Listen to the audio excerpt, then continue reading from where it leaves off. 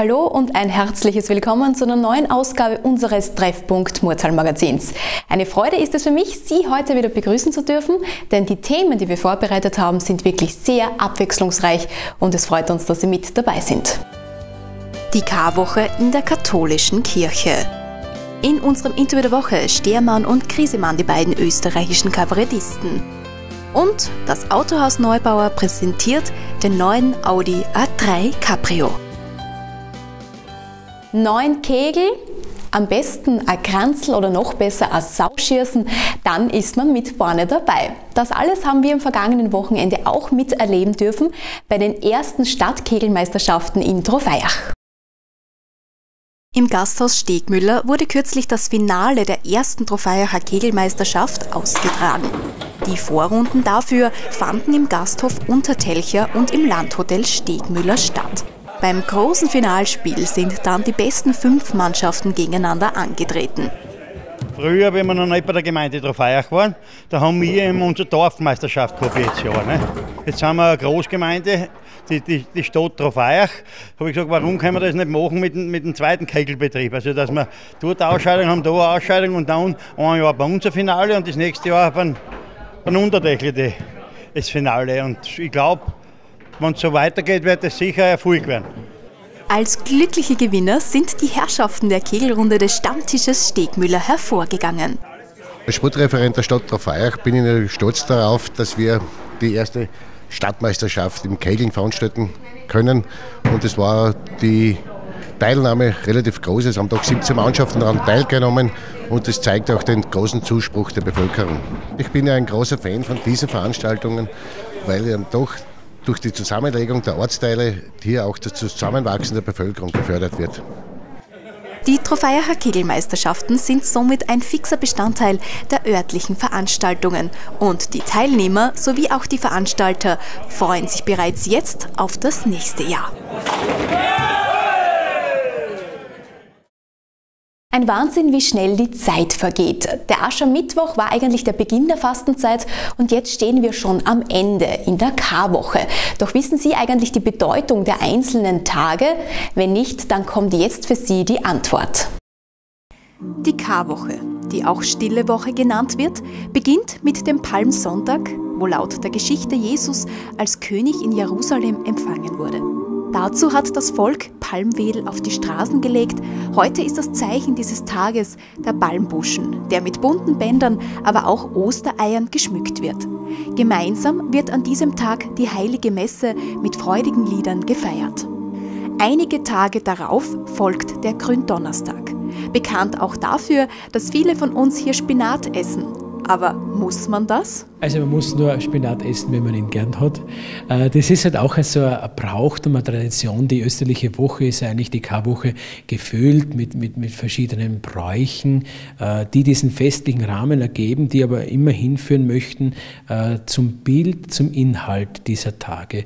Und der Gründonnerstag bekommt seinen Namen vom althochdeutschen Wort greinen, das heißt eigentlich weinen und erinnert uns schon an, an den, den, wesentlichen Inhalt dieses Tages, dass Jesus eben im Ölberg äh, in besonderer Weise auch zum, zum Weinen kommt, beziehungsweise äh, schon auch die Angst durchhalten muss im Blick auf das, was vor ihm steht, nämlich äh, der Kreuzweg, das Kreuz, der Tod, äh, den er auf sich nimmt aus leidenschaftlicher Liebe zu uns. Die Botschaft vom Karfreitag ist eine sehr schlichte und einfache, denn hier wird der Blick auf das Kreuz gerichtet.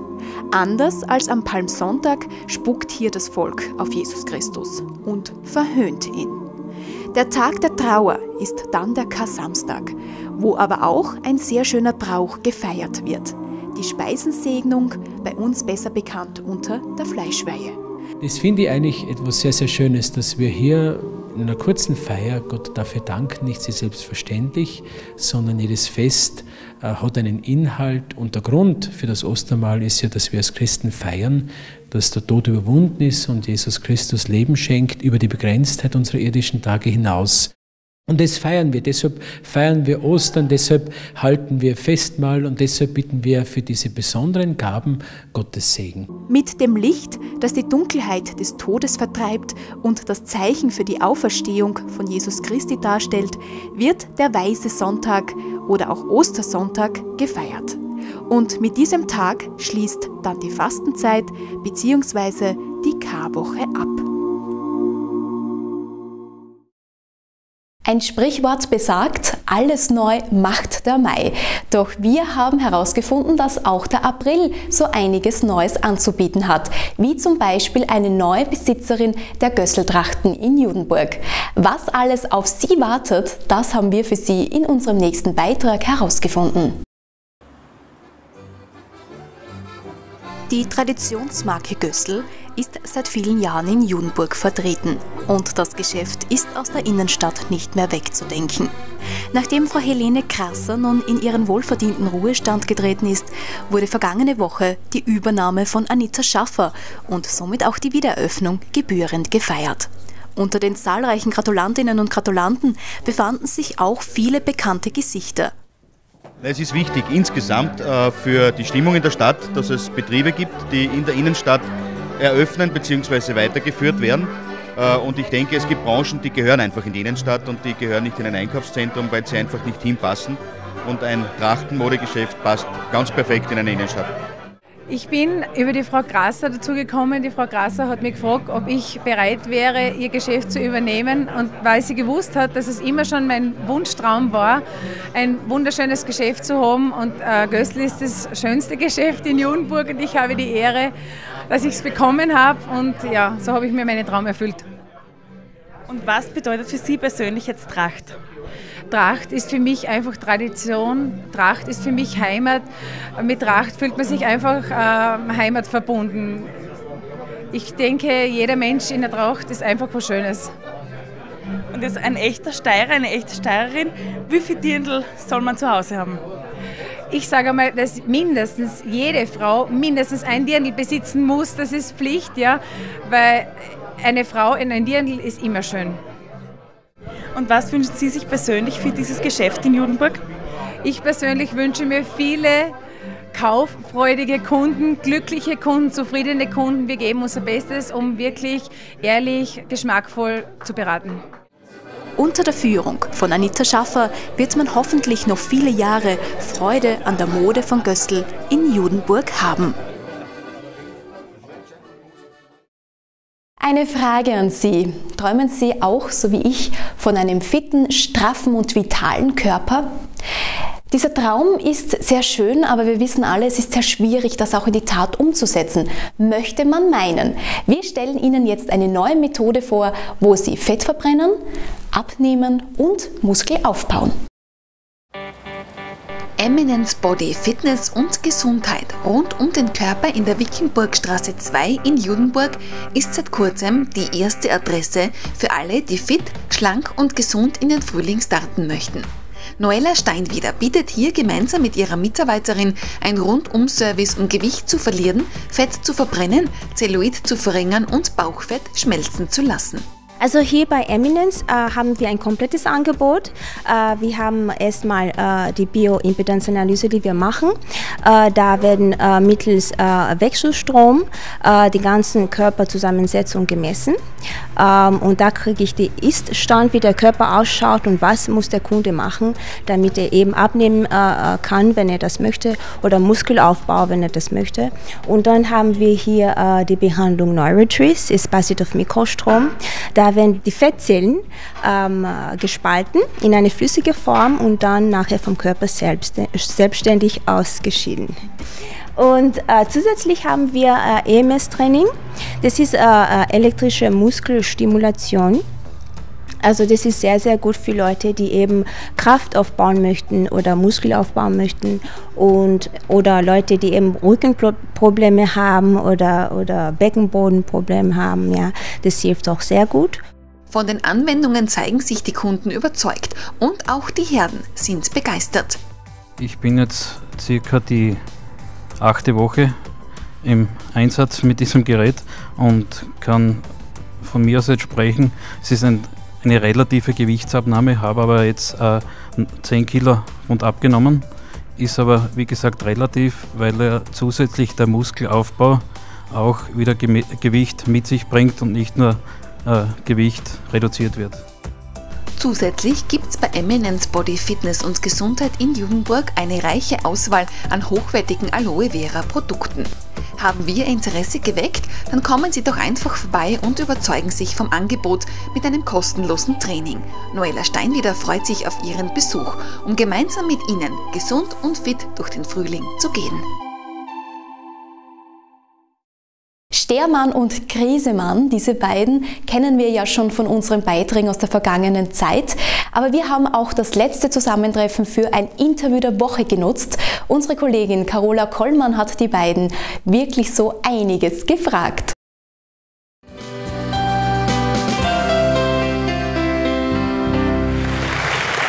Vielen Dank für diesen vollkommen gerechtfertigten Applaus. Ja, ich weiß natürlich, warum Sie alle gekommen sind. Sie alle wollen möglichst intime Details aus meinem Leben hören. Könnten Sie uns einmal generell erzählen, wie sind Sie denn überhaupt zum Kabarett gekommen? Äh, wir sind gar nicht zum Kabarett gekommen. Das Kabarett ist quasi, wenn man so will, zu uns gekommen. Weil wir, wir kommen vom Radio und irgendwann hat jemand gesagt, das könnt ihr auf einer Bühne machen. Und dann haben wir das auf einer Bühne mal gemacht und dann sind Leute gekommen und so sind wir dann irgendwie dabei geblieben, mehr oder weniger. Aber es war nicht unser Ziel.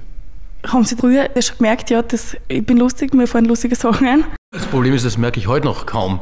Nein, überhaupt nicht. Also ich, es liegt mir eigentlich äh, fern, in, äh, vor einer Öffentlichkeit Witze zu machen, aber das Problem ist die Alternative. Was hätte ich denn sonst machen sollen? Ne? Also es, für einen Menschen, der mit relativ wenig Talent gesegnet ist, ist das noch das Beste.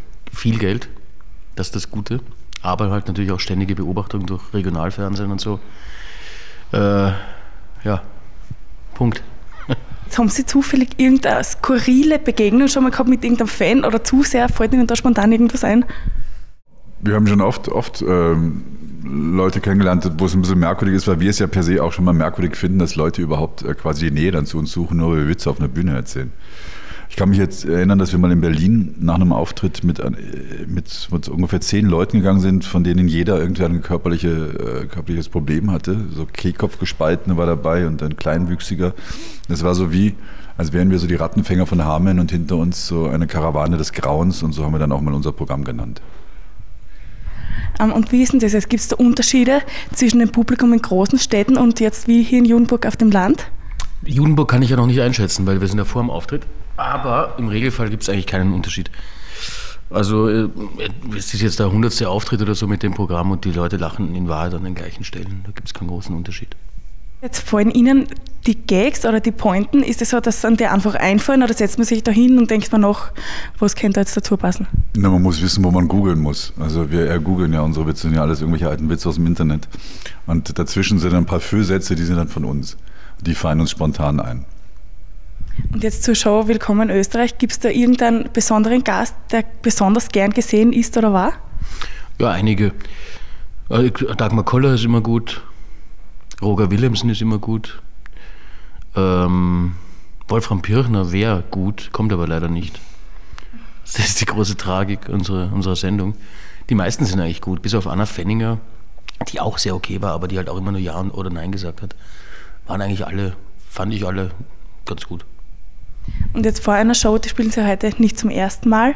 Ähm, wie ist das? Steht man da auf der Bühne und denkt sich, ja, jetzt sage ich das schon wieder zum gleichen Mal, die, da lachen sie und da lachen sie nicht? Oder? Ja, exakt so ist es. So ist es. Mhm. Ja, es ist in Wahrheit so, dass du davor immer total müde bist und überhaupt nicht vorstellen kannst, gleich auf einer Bühne zu stehen, auch überhaupt keine Lust hast in der Regel. Ähm, aber dann, sobald du dann dort stehst, geht das irgendwie dadurch, dass die Leute da sind und man ja irgendwie höflich ist, offensichtlich. Und diese Höflichkeit äh, bringt dann so eine Art Adrenalinschub, so eine Höflichkeitsadrenalinschub. Und dann kann man das halt diese zwei Stunden zumindest durchziehen. Und bereiten Sie sich irgendwie besonders vor? Haben Sie irgendwelche Rituale? Essen. Wir essen eigentlich den ganzen Tag immer nur. Wir liegen und essen, so eine Mischung immer, so zwischen Liegen und Essen. Und das ist unsere Vorbereitung. Das ist so bei essen, Liegend essen. essen. Das ist unser Ritual. Manchmal essen wir auch sitzend. Das ist dann aber schon für uns sehr verwirrend. Überfordert uns eigentlich schon. Wenn Sie einmal Freizeit haben, ich stelle mir vor, das ist nicht so oft, wie verbringen Sie die am liebsten? Liegend und essend. Ja, Na, Freizeit ist dann, ähm, ja, eigentlich sitze äh, ich sitze und gucke eigentlich immer nur. Ich mache gar nichts. Ich sitze und gucke. Ja, eigentlich ganz normal, wie andere Leute auch. Spazieren gehen, essen. Jetzt keine besonders skurrilen Hobbys oder irgendwas? Nein. Und jetzt noch zum Programm. Also wie hat Ihnen das überhaupt passieren können, dass Sie da nur Ihren Text schreiben? Ja, durch totale Unkonzentriertheit. Ich bin halt auch schon älter und habe eh grundsätzlich Angst davor, auch irgendwann mal dement zu werden. Ich habe halt angefangen zu schreiben und vergessen, Grissemann reinzuschreiben. Es ist mir eh auch peinlich und er weiß auch, dass mir das unangenehm ist. Aber er ist, er ist mir wohlgesonnen genug, dass er mir verziehen hat. Und Sie jetzt mit Ihrem Text machen Sie das immer spontan? Ich greife nur ein, wenn Not am Mann ist. Also es kann sein, dass Stefan allein draußen bleibt und wenn ich merke, er, er hat große Probleme, hängt mit dem Text oder kann nicht weiter, Leute lachen ihn aus, dann komme ich und rette das Ganze. Und was schätzen Sie ganz besonders an dem Kollegen? Puh, da müsste ich jetzt echt lang nachdenken. Ich glaube, er mag meine Hilflosigkeit am liebsten. Äh, ich an ihm alles. Ich finde, dass er ein, so eine Art, er hat für mich so eine Art Geniefaktor. Und gefällt es Ihnen in der Steiermark? Wie gefällt es Ihnen da? Ich bin, ich bin ja Wahlsteirer, also ich lebe ja halb in Graz und äh, liebe äh, die Steiermark über alles. Die beiden, also mein, mein, Techniker und mein Kollege hassen die Steiermark nee, und hassen Graz. Nein, das stimmt überhaupt nicht. Schimpfen immer nur auf die Steirer, finden den Dialekt den hässlichsten. Nein, das ist nicht wahr. Das wird in einer Tour das so gesagt im Auto. Wahr. Doch, doch, nein, doch. nein, nein, nein, nein, nein, Sag doch, dass du es hässlich Ich habe selbst, liebe Michael Ostrowski zum Beispiel, ist ein lieber Freund von mir, der äh, großen steirischen ja, Dialekt. Nein, das ist so, meine besten meine Freunde sind Ausländer. Meine besten Freunde sind Juden. liebe ja, ja. Michael Ostrowski und äh, Stefanie Berger, das sind persönliche Freunde von mir, die ja wirklich auch den harten steirischen Dialekt pflegen und ich finde gerade den Kärntner Dialekt und den, den besonders brutalen Steirer Dialekt finde ich ganz bezaubernd. Also das stimmt nicht, was Stermann sagt. Ich mag auch Graz sehr gern und auch hier Judenburg und Kapfenburg, Kapfenberg. Wunderbar. Und noch zu guter Letzt, haben Sie irgendwelche speziellen Erwartungen an einen Abend, an dem Sie das Programm spielen? In Judenburg speziell oder grundsätzlich? Beides. Naja, ich hoffe, dass äh, Leute von nah und fern aus der Gegend kommen, von Klein-Krakaudorf und Groß-Krakaudorf und Krakaudorf-Zentrum ähm, und sich das anschauen und sich amüsieren. Und dann haben, äh, das ist ja heute eine Kirche, in der wir auftreten, eine umgebaute. Und das soll heute für alle ein Gottesdienst des Humors werden. Und wir, ich möchte gern der Prediger sein und Christemann darf, wenn er möchte, mein Messdiener dabei sein.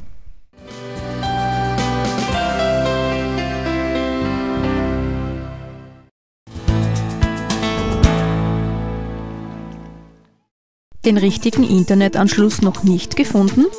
Wie wär's mit Fiberspeed 20, der Internetanschluss für den täglichen Gebrauch? Zu langsam? Wie wär's dann mit Fiberspeed 40, der Highspeed-Anschluss für Multimedia-Anwender? Immer noch zu langsam? Wie wär's mit Fiberspeed 60, der Multimedia-Anschluss für den Power-User und Gamer? Noch zu langsam? Wie wär's dann mit Fiberspeed 100, der schnellste Highspeed-Internetanschluss in Ihrer Region? Fiberspeed, das schnellste Internet im Eichfeld.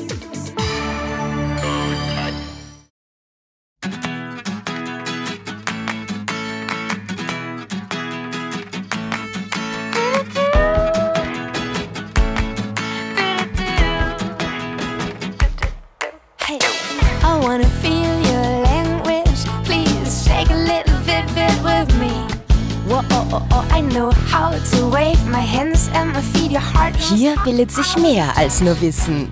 BFI. Bildung, Freude inklusive.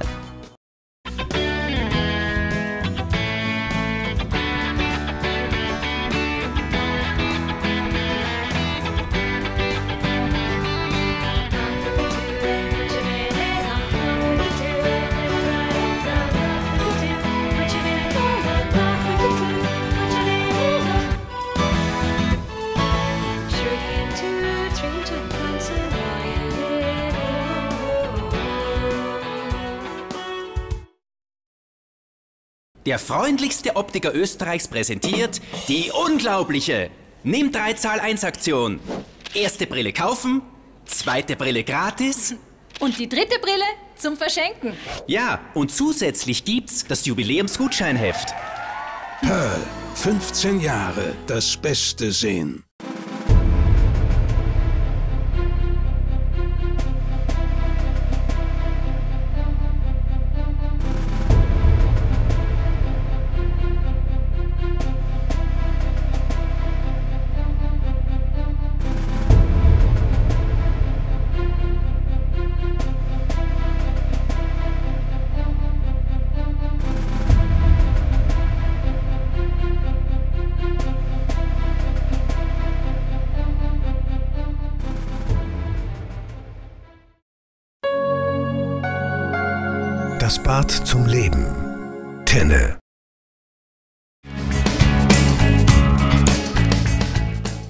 Haben Sie schon gehört von den neuesten Trends bei optischen Brillen und Sonnenbrillen?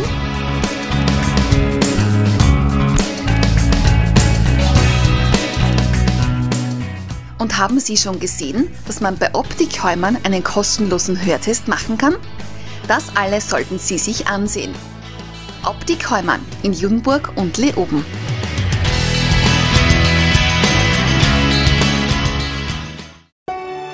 Gemeinsam stark. Mit Regional TV näher dran an ganz Österreich. Neun Bundesländer. Neun Sender. Ein gemeinsames Dach. R9 vereint die erfolgreichsten Regionalsender Österreichs. Mehr Reichweite in Rot-Weiß-Rot. R9 Regionales Fernsehen Österreich.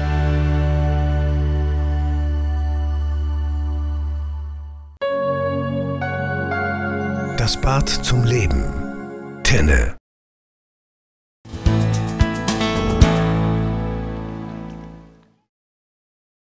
Die vergangenen Tage haben ja richtig eingeladen, eine Spritztour durch die Gegend zu machen.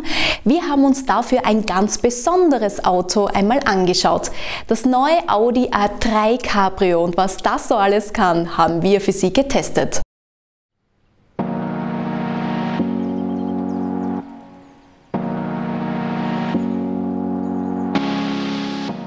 In gut 20 Sekunden dem Himmel ein Stückchen näher. Das garantiert das neue Audi A3 Cabrio, denn es lässt sich auch während der Fahrt mit einer Geschwindigkeit von bis zu 50 km pro Stunde öffnen.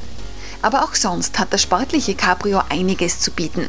Egal ob in der offenen oder geschlossenen Variante, ist es gut verarbeitet und die Materialien sind hochwertig.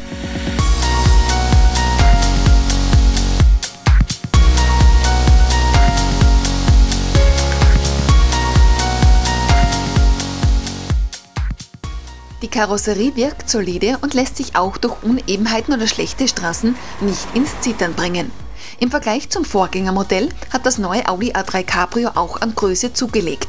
So wuchs es zum Beispiel von 4,24 Meter auf 4,42 Meter Länge, was nicht nur dem Knieraum auf den Rücksitzen zugutekommt, sondern vor allem auch dem Kofferraum. Das von uns getestete Modell, der 2,0 TTI 150 PS starke Dieselmotor, macht richtig Laune.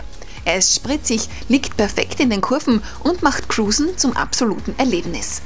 Das neue Audi Cabrio besticht durch seine klare Linienführung, den markanten Single-Frame-Kühlergrill, Scheinwerfer mit LED-Tagfahrlicht und Überrollbügel in Aluminium-Optik. Alles in allem ein gelungenes Cabrio, das den Komfort auch bei Regentagen nicht missen lässt. Haben Sie Lust, das Audi A3 Cabrio zu testen? Dann vereinbaren Sie noch heute einen Termin im Autohaus Neubauer in Eichdorf. Der 5. April ist in Graz ganz im Zeichen des Red Bull Rings gestanden. An sechs verschiedenen Plätzen haben die Zuschauer in die Welt von Red Bull eintauchen können. Unsere Kollegen von Kanal 3 Graz haben sich das natürlich nicht nehmen lassen.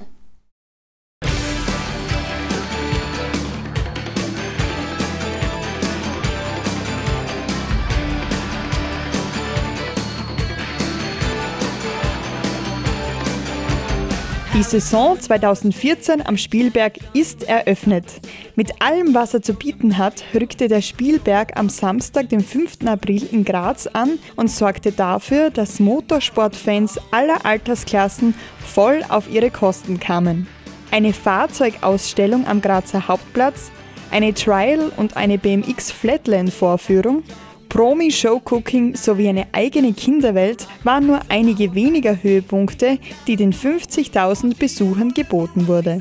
Wir haben nachgefragt, wie die Besucher den Spielberg in Graz erlebten. Voll geil, alle voll motiviert, alle voll gut drauf, alle freuen sich voll aufs Event und geben voll Gas. Wir sind gerade eigentlich erst hergekommen. Wir haben ein paar Utensilien ergattert. Wir haben uns die Trail-Show angeschaut, gell?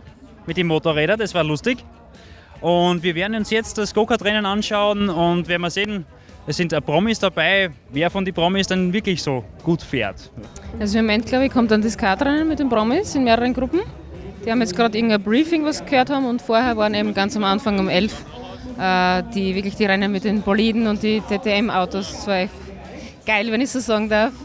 Echt laut und, und Lärm und Gummi. Also es war einfach nur echt spektakulär.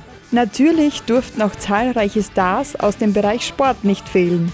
So waren unter anderem Hans Knaus und Thomas Morgenstern zu Gast, die, nachdem sie in Bestzeit durch die engen Häuserschluchten der Murmetropole kutschiert wurden, ganz locker am Hauptplatz in Graz zum Interview bereitstanden. Mir hat es extrem taugt. Ich habe Gott sei Dank keinen Einzelkutscher erwischt mit dem Matthias Extrem, aber ich kann euch recht sagen, was der in den Auto da drin arbeiten muss, das sieht man von gar nicht. Also das schaut total einfach aus, aber der Bursche, der hat da mächtig Arbeit, dass er kann eben verrammt da irgendwo auf der Strecke und war echt ein geiles Gefühl da mitfahren. Ah, ich glaube, ich hochzufrieden. Also es ist auf alle Fälle eine Ehre, wenn ich mit dem Karl mitfahren kann, eben durch, durch Graz platteln. Ich bin ja auch vor ein paar Jahren äh, mit dem Martin, mit dem Domschick mitgefahren. Äh, das heißt, das Gefühl eines DTM-Autos kenne ich natürlich schon. Sechs Themenplätze boten zudem nicht nur einen umfangreichen Einblick in die Welt des Motorsports, sondern auch in die abseits der Rennstrecke. Ein besonderes Highlight war sicher die große VIP Go-Kart Challenge am Karmeliterplatz, wo Thomas Morgenstern und Philipp Oettel für ihre Performance durch ein Publikumsvoting zum Sieger gekürt wurden. Bleibt also nur mehr voller Vorfreude, den großen Preis von Österreich entgegenzufiebern. Haben Sie gewusst, dass man auch in einer Halle fliegen kann? Sie fragen sich gerade, von was ich spreche? Dann schauen Sie sich doch einfach den nächsten Beitrag an.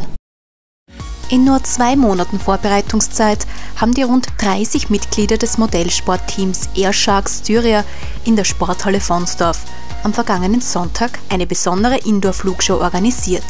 Rund 300 Gäste haben sich die unterschiedlichsten Programmpunkte wie den Segelflugsimulator oder auch die Ausstellung, in dieser die verschiedensten Hubschrauber, Jets und Propellermaschinen präsentiert wurden, nicht entgehen lassen. Vor allem die Kinder wurden bei diesem Event mit besonderen Höhepunkten angesprochen, unter anderem mit einem Freiflugwettbewerb.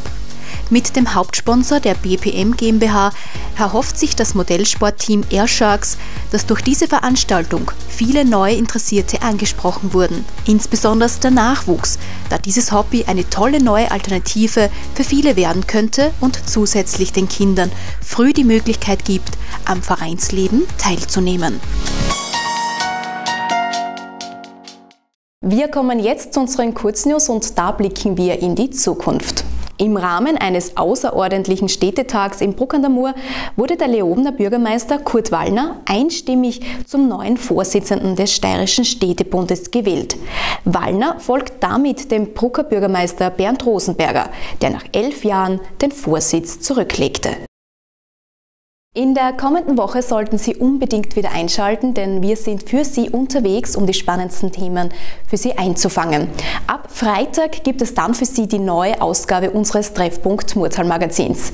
Informationen zu uns, Kanal 3, können Sie auf unserer Homepage www.kanal3.tv bekommen oder auch auf Facebook und YouTube.